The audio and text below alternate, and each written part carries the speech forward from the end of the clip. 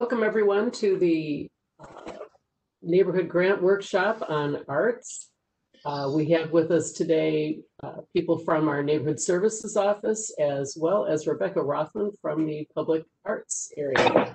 Uh, Elizabeth Thomas will be uh, running the workshop and the PowerPoint today. I will let everyone introduce themselves. Elizabeth, go forward. Thank you. That's my esteemed colleague Laura Kaifas. She is a neighborhood services specialist, as am I. I'm Elizabeth Thomas. Many of you might know me from my initials ET. We're also joined by Rebecca Rothman, and we'll have her provide her title when we turn over that section. And I believe we're also joined by Brenda Clark, who also is a neighborhood services specialist, in addition to Krista Lawless and Shauna Warner is our neighborhood services manager. Um, today's session is about the Maryanne Corder Neighborhood Grants. This is our workshop specific to arts projects. Just wanted to advise all of you that we are recording today's session. This is for the purposes of being able to put it on the neighborhood grants website later so that more would-be grant applicants can watch it at their leisure, or if any of you want to revisit it after today. In addition, we have had um, several other sessions already. One was specific to um, HOAs, and so that one is living on the website. We also had one specific to traffic calming. Another was about landscape and environmental projects. And we have a remaining session that's going to be about parks projects. That will be on Monday, um, starting at 11:30, and also on the WebEx platform. Thank you for joining us today, and we're going to go ahead and get going. So we'll move on to slide number two. The Maryanne Corder Neighborhood Grant Program. The um, goal of this program is to provide residents with an opportunity for them to come together to improve their neighborhoods. Um, it requires resident participation that's at the beginning and throughout the process, and neighborhood involvement in the selection, coordination, and completion of grant projects. It's also important to note that the grant request must be a capital improvement. It cannot be for routine maintenance or operations. Now we get into the funding. Since 1994, we've had 660 projects completed and over $4.8 million invested. Um, to call your attention to a couple new things this grant cycle, there's 350,000 available in funding. There might be some additional available specific to projects that are water conservation projects. Um, also new this cycle and pretty exciting is the maximum grant amount is now $20,000 for this grant cycle. Um, a match of at least 25% of the requested funds is still required for HOAs and also for our certified crime-free multi-housing communities. Many of them make additional matches well beyond that, but a match of at least 25% is required. Who can apply? This is an important slide in terms of the neighborhood services has over 82 neighborhood associations registered with our office. In addition, we have 139 homeowners associations registered with the neighborhood services office. If you happen to be a homeowners association in particular, and you're not certain that you are indeed registered, you can email neighborhoods at tempe.gov and we can verify that for you. Um, it is a requirement for eligibility. Um, another thing is you have to include and basically to invite everyone in your neighborhood or community to get involved. Um, you want to get input from all residents again early on and throughout the process. You do not want your grant application to be just a board decision or for officers of the Voluntary Neighborhood Association or HOA to be making the decision. What can you apply for? A capital project that benefits the entire neighborhood and is a one-time expenditure. It also must be completed, must be doable by June 30th, 2022. Almost as important sometimes as what you can't apply for. HOA requests cannot be for maintenance projects such as entryway gates, roofing repairs, common ground and pool maintenance, painting. Specific to painting, it can't just be um, putting another coat of paint on or the same color on. If you have a wall project and it um, it would definitely need to read as an enhancement or improvement project to be considered. Also not applicable is a road repair for private streets. Um, you also cannot apply for project maintenance or operation costs. Who do I involve? Again, the community involvement early on and throughout the project process is required. All residents of the community have to be notified of the opportunity to apply for a grant. Um, they also have to be provided a chance to propose and comment on any project ideas, and you want to include them in the final selection of the project. Um, I made a couple quick notes for myself, but I just wanted to emphasize um, you can use postcards. Um, and voluntary neighborhood associations can work with neighborhood services on that. Um, you also, if you're a homeowners association on your own, could do postcards or newsletters. Um, virtual meetings are going to be very much encouraged so that you're inclusive in the grant pro- process. And other um, avenues of communication, such as Nextdoor, can be used to enhance. Facebook posts or flyers are just a few ideas. And now I'm going to turn it over to Rebecca Rothman. She'll provide her title and she'll go through the next slides. Thank you, Rebecca. Hi, all. Um, I'm Rebecca. I'm the Director of Public Art here in Tempe, part of Tempe Arts and Culture, and really happy to be able to work with neighborhood services and residents on these projects. Um, they are gems within the collection, and something that people don't realize is that they are really unusual in that um, these works of art come together through kind of the grassroots efforts of residents and with our help and guidance and facilitation, our being those of us in the city, um, it really lands on the homeowners associations and neighborhood associations to make them into a reality. Uh, once they're complete, then if they're on city property, they become part of the public art collection. Um, that's again, if they're on city property, and I'll explain that in a minute. But uh, we're, we're thrilled with what the projects have been thus far. If you want to go to the next slide.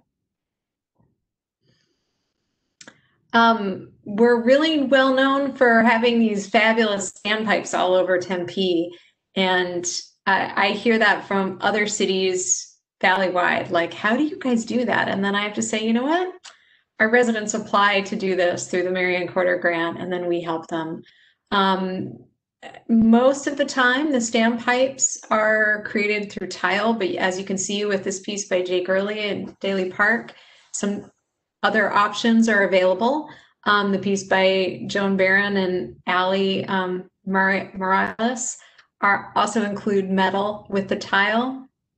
And these are uh, pretty unique pieces because they're they're utilitarian. They have to be there. There's some rules that these artists have to follow, but they manage to make them into landmarks throughout the neighborhoods. And everyone knows when they're in Broadmoor or Clark Park or Maple Ash, et cetera, et cetera, by these uh, standpipes, or that's at least what I hear about. Next slide. Um, but it doesn't have to be a standpipe. That's the other question I get asked is like, oh, you guys just all all the neighborhood projects are standpipes. That's not really true. Um, you can see at Clark Park, there is the community garden piece by Tom Stritch. Um, Greg Richard did this lovely bench. We have benches by other artists around. So it's really up to the applicants to think outside the box and to think about where art could enhance their neighborhood. Next slide. We're open to working with uh, residents and helping to determine a good location. Uh, we do have some rules though. Uh, the first being, as I mentioned, when the artwork is on city-owned property, it becomes part of the public art collection and we take care of it. Therefore, if you're looking at a location that's in city right away or on um, property, then we ask that you select artists from our pre-qualified list. This is a list of over 50 artists. It's available on our website. Um, these artists have been vetted by residents and staff alike. Um, they are really excited to work with residents and do these kinds of projects. And you'll find that in the list, it's broken up based on medium. Um, if you happen to have artists in your neighborhood who are like, well, how do I get on that list? We open up this as a call for work every two to three years, depending on our availability, and we update it as such. So it does update regularly. Um, when you're applying for an artwork, we ask that you select three artists and show proof of um, reaching out to them and getting some bid or information from them in your application. The art staff will help and facilitate the contract once the neighborhood has selected an artist to work on. And again, if it's on city property, we'll maintain it. And the reason that this is important is throughout the design process, we're going to help with materials, making sure that these have some longevity, that these are pieces that are properly located, that we can maintain them, that they're going to look as good 10 years from now as they do the day you put them in. Um, again, going back to that list, the reason that we have this pre-qualified list is to make sure that the artists who are represented on the list are not only interested, but also very capable of working in a public art setting. Um, we will review the materials that are proposed and the fabrication and installation methods. If there's any kind of question that might impact other departments, for example, the piece you're looking at with Andrew Carson is pretty tall. Um, in that case, we would want somebody from planning to look it over, make sure that the engineering is in place so that it's not going to fall over in a windstorm, et cetera, et cetera. So we'll work on those kind of technical things with residents to make these happen. Next slide. If you are in an HOA, um, HOAs are privately owned, so that allows you to pick any artist you like. Uh, you may use the pre-qualified list, but you're not, you don't have to. Um, a lot of residents ask me about walls, particularly alleyway walls as an option. It's important to note that those are privately owned, even if they're not in an HOA. A good example right here with John Randall Nelson. These are privately owned walls um, at Date Palm Manor. So what that means is that when the artwork is done, we will still help with materials. We'll still help navigate and facilitate. We still help by writing the contract. But at the end of the project, it's residents that take care of it and maintain it. We will not maintain these pieces that are on proper on a privately owned property. So again, questions about materials we can review and discuss and talk about their longevity in our knowledge base. But um, the neighborhood would have to figure out a way to make sure that these are cared for in the duration. Next slide. So here comes the big, the big ugly question that I get asked. Um, it's important that as you're considering a location, if you have any questions especially, but even still, to reach out to us and let us know what you're thinking about um, we have artworks that are out in the world and get hit by cars, people climb on them, things happen. So we know a lot about what it takes to have a work of art that has longevity. And we take risks. We do new things all the time in public art. Um, but when you consider your location, please also consider what's around it. I get asked a lot about medians, about bump outs about artworks in the middle of the road. And while these look really, really lovely, um, they get hit by cars just like everything else. So if you have a project that is in a median, is in a roundabout, is near a roadway, please um, give us a call. We will take a look at it with you. Um, and just know that what we're looking for is a certain amount of buffer between the artwork and the vehicular traffic. If it's not there, we simply don't advise that you move forward with that because it's not maintainable. Next slide. So, um, with neighborhood art, I would say that the best way to start is to consider the site and how it would be enhanced by the artwork. Um, is it accessible to the public? Does it have a visual impact? And will the artwork add a new way of looking at the site?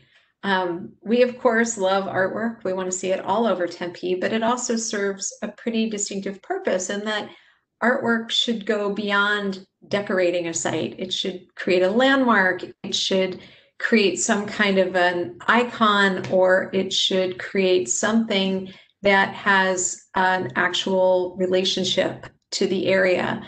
Therefore, um, if you call us and we come and take a look at it and we give you feedback, we're giving you our honest feedback. Um, but think about it in terms of your application too, so that we know what it is that you're trying to do with the artwork and what the purpose it serves is. We're happy to review with you. We're happy to talk through anytime. Next slide. Alrighty, um, thank you so much, Rebecca. I think we're gonna pull you back in after a few more slides. Okay. Um, I did want to touch on the last point that Rebecca made, though. When they do sit with you or meet with you, whether it's in person or virtually at, um, or on, they have a lot of good information to share. And so please take note of any concerns or any issues that they bring up. Um, they are the experts, if you will, um, as it relates to art projects, and that will help strengthen your application. Now we're getting into what do I submit? And this is more general information, whether it's an art project or a different type of project. But every project is going to need an application form new this cycle, meaning for the 2021 2022 grants, we do have an online application form. Um, the basic application form is going to be as it always is. It will need um, you to complete who's the primary contact, who's the authorizing official, if different from the primary contact. Be sure to give us good emails and good cell phone numbers or other numbers to reach you. Um, funny we have to say that, but that's very important for the future communication about your grant project. Um, as far as um, the following, these also apply to all project types. We request three bids, or in the case of an art project, three artist proposals. In addition, pictures, aerials from Google of where the art will go, so kind of an existing conditions situation also need plans, or in this case, artist renderings. And very important is that proof of community involvement for any application that you submit. So you're going to want to have documentation of postcards or flyers or meetings or meeting agendas. Um, one thing I should add too is we don't want a novel when you submit, but we very much need you to be specific um, and as brief as possible when you're doing your narrative. But it's basically telling the story of your grant. You won't be there to pitch it yourself. So the more information that you can provide that is indeed specific um, will help paint the picture or the story of your request. Also, specific mandatory requirements for each project type are applicable. We have what we call cheat sheets for each of the major categories. So, in addition to the workshop today and the PDF of this PowerPoint, if you would take the time to look at those cheat sheets, cheat sheets, I think it would strengthen your application, and each of those brings out important specifics for that type of grant project that'll be helpful for you. Did you have something to add, Rebecca? I do. I just wanted to add in terms of artist renderings or proposals, we're not looking for a full blown proposal at the point of application simply because you're asking an artist um, for their thoughts, their initial thoughts and what they, you know, are interested in in trying to get a cost from them, trying to get some random idea. But if um, they're not under contract yet. So it just will strengthen your case if we have an idea of who the artist is that you're talking to and what they would provide i would say whether that's you know a pencil sketch or a narrative or some some information that just kind of lays out what what they're thinking helps. Thank you so much for the clarification. And the arts is kind of a very special and unique category. So that's very good input for what you need to be asking of your artist. Um, what is evaluated? There's these three major headings here. We've got quality, impact, and ability. And quality is just that you have a clear and detailed application that you're showing that documentation of engaging the neighborhood early on and throughout the process, a complete application so that everything is there, all the fields are completed. Also, that your budget is specific and accurate. On some of the other grant project types, your um, ask amount should match one of the um, one of the bids that you're providing. Um, you also, if you're an HOA, you're going to need to break out that 25% matching funds requirement. Um, as far as it relates to ability, that's more just that you're confirming your ability to complete the project during the fiscal year that you'll be provided. And obviously, you want to work with contractors that are assuring you of their ability to do so. Um, you also want to address how the project will be maintained in the future. As Rebecca was talking about, and very specific to arts projects, if they're in the city right away and if they are successful, the city will um, handle the maintenance on those. For the other project types, it's often the responsibility of the applicant that you are going to be taking on that maintenance. So you need to be able to describe in the application how you're going to do so. And that also relates to HOAs that are doing art projects. And we hope more do them. Um, as far as impact, um, that's another thing you can highlight in your application if it's applicable to your project. So if you're having anything to do with water or energy conservation, or you're adding trees and thereby shading sidewalks and so on, you should call that out and highlight that in your application. Um, enhancement and beautification are important for any um, grant project application. You can also emphasize improving health and safety. Let's say if you're adding some additional lighting or security lighting. Um, and if there's a known neighborhood deficiency that you're addressing, that's another thing to call out. And if there are existing projects, whether city or private, that your grant project is going to enhance or further build on, that something else you can include. Oh, timeline. Let's see. Um, as far as connecting with neighbors and making project selections and starting those conversations, that can begin now. Um, and when we say now, we're obviously in December and quickly approaching holidays, but basically sooner than later. Contact applicable staff that's not just the neighborhood services staff, and we will certainly be at the ready and want to help you with your basic grant questions. But if you have a specific project type that you're pursuing, you're going to want to start doing the outreach for those specific staff members. All that information will be provided on the website, and we'll have Rebecca's email at the end of today's presentation. You're also going to now want to start soliciting proposals. It takes a little bit of time, obviously, to hear back from contractors or, in this case, artists. So, the sooner you start that process, the sooner that you'll be able to get some bids or some proposals in. Um, preliminary reviews of applications take place between the months of February and into April. The grant deadline that we have bolded there, that's a hard, fast deadline. We're looking at April 27th, 2021 by 5 p.m. And earlier applications are always accepted and appreciated. Um, the neighborhood grant panel conducts their review. That date will be determined, but that doesn't take place till May or June of next year. And from that review, recommendations are prepared, which go on to City Council. They then look at those in late summer and your projects, all projects would need to be completed by June 30th, 2022 if you were successful with your grant application. So this gets a little bit more into a visual view of what you need to do before submitting your grant application. Um, step one would be attend the arts grant workshop. Thank you for those of you who made time to do so today. So you're already on the way.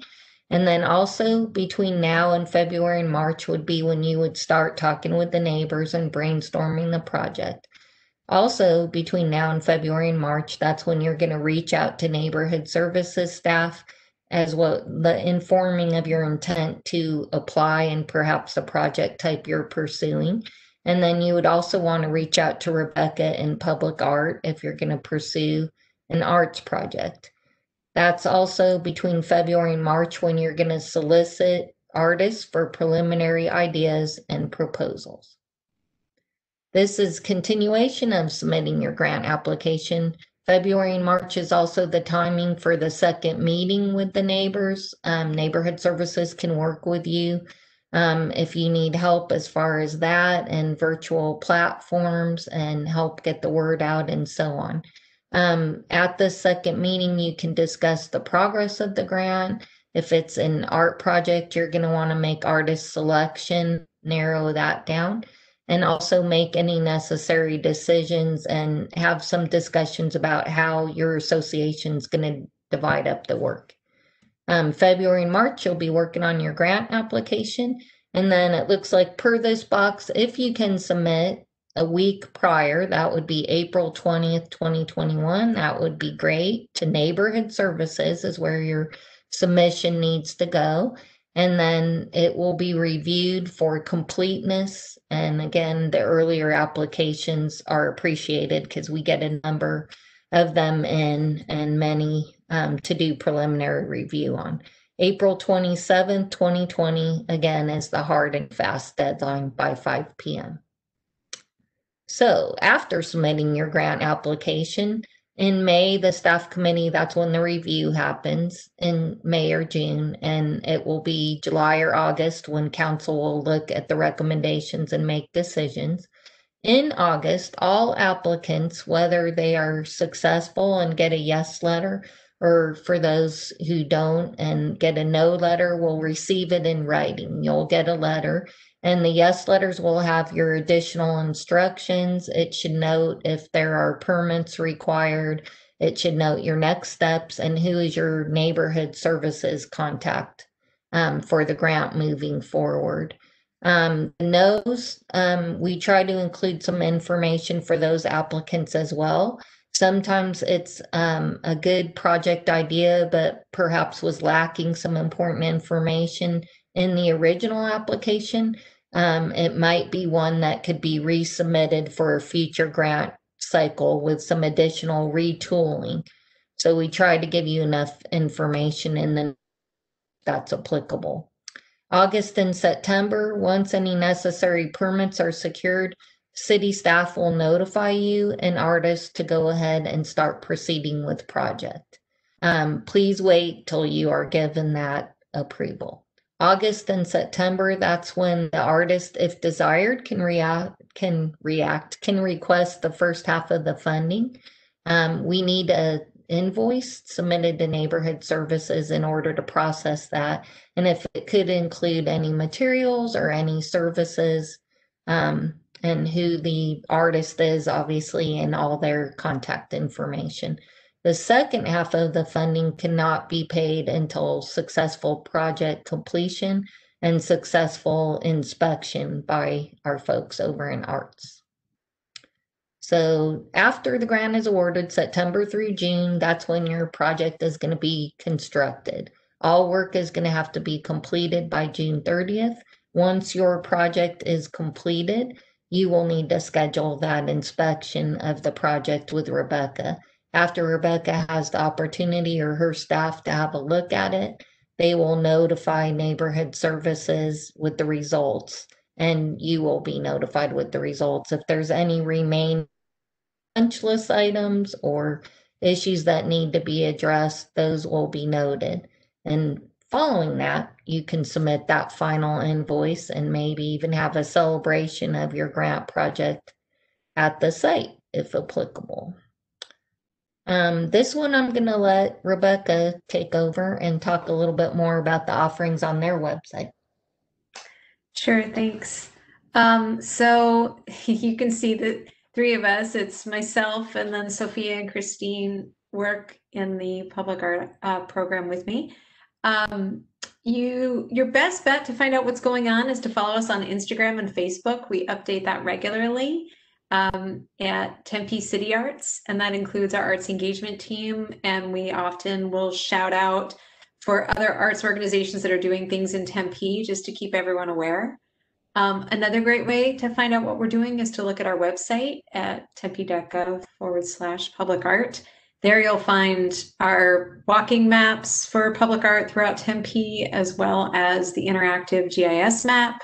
Um, we have calls for artists, and we have all kinds of information, including information about the neighborhood projects. Um, and finally, I just want to say in these times when we're all practicing our physical distancing and kind of quarantining or hunkering in and isolating, it's wonderful that in Tempe you can take a walk and have an art experience. So get outside, take a look at our walking maps. Um, they're available on our website. That's good advice, Rebecca. So we've got Rebecca's email up for you, and we also have the neighborhood services email here, neighborhoods at tempe.gov. And Rebecca's is Rebecca underscore Rothman at tempe.gov. So those are also going to be on the website um, posted for you if you want to look further into pursuing an art project. And lastly, my esteemed colleague Laura Kaifas is going to help us with any questions that anyone may have. Um, and neighborhoods at tempe.gov again is the email and also the resting place for neighborhood grant information. It's very robust this year, and we hope it will help you with um, compiling your applications. Is tempe.gov forward slash neighborhood grants. So I'm going to get this PowerPoint off. Thanks, Elizabeth and Rebecca. I think you guys did an amazing job today. Uh, I don't see any question. Oh, wait, maybe we do have some. Yeah.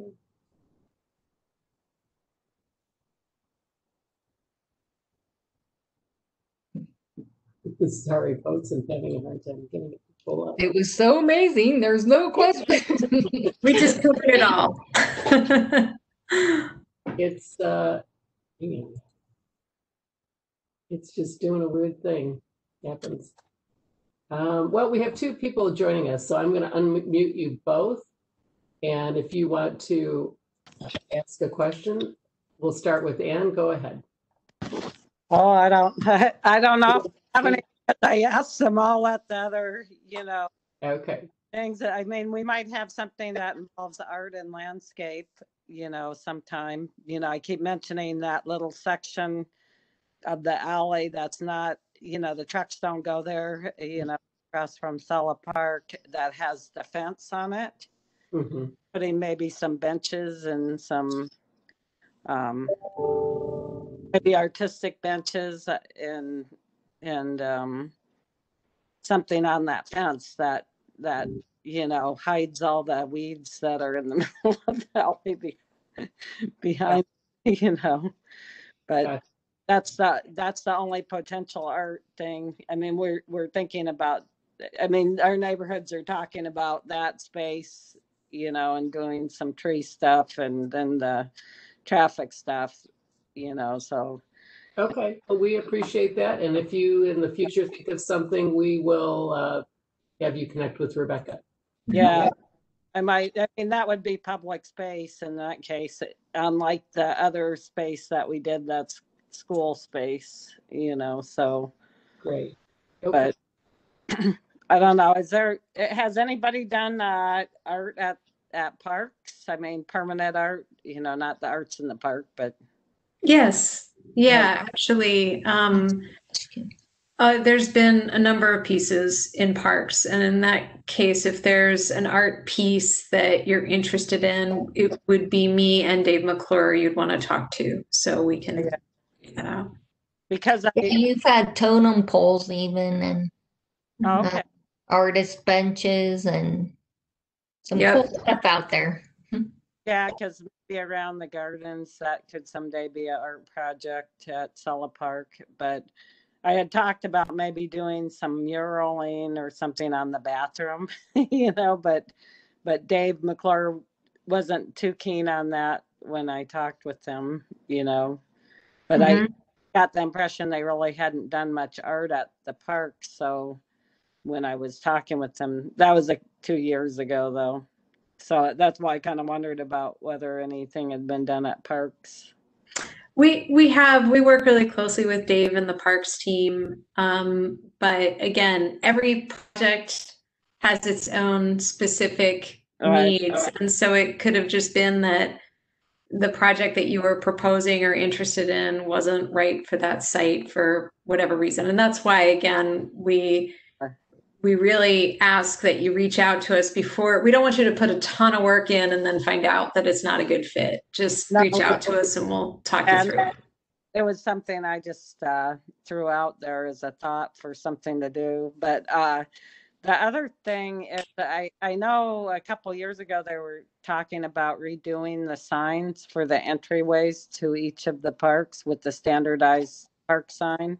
But I don't know, is that something that I, because we had asked about maybe doing that as a grant thing to change the, the sign.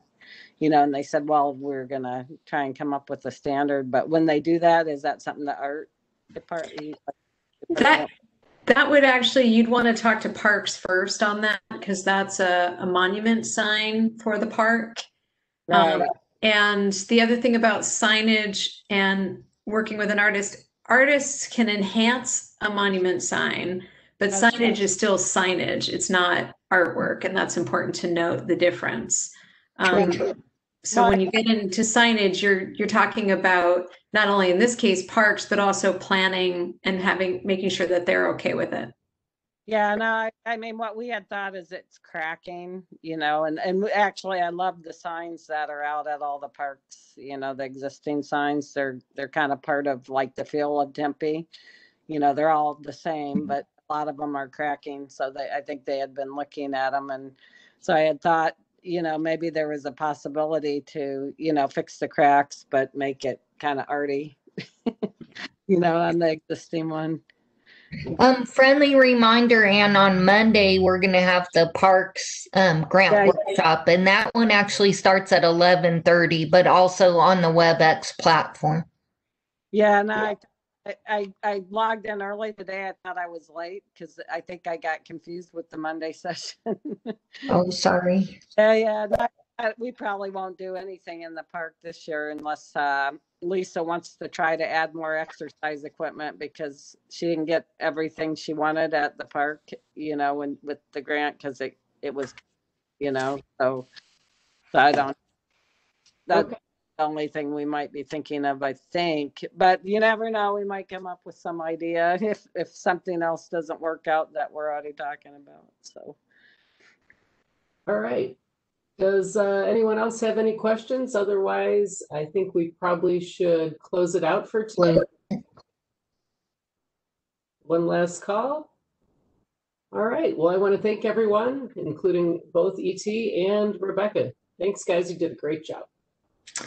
Thank you. Bye now. Thank you, everyone. Have a great day. Great job, Laura. Thank you.